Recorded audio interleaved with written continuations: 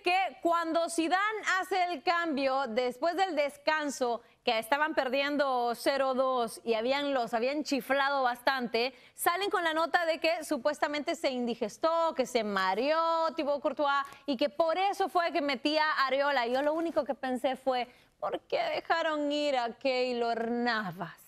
Y se Nunca quejaban, entendí. y se Nunca quejaban cuando lo tenían a Keylor Navas, se quejaban de que no daba la talla y ahora están sufriendo Ahora- por haber dejado ir al Tico, que lo hacía espectacularmente Sí. bien, y ahora está con el Paris Saint Germain, viviendo en París, gastando billete en The Champs-Élysées. ¡Ay! ay. No. Courtois ha recibido 81 goles en 58 partidos. Una bromita bastante cara que le ha salido al Real Madrid.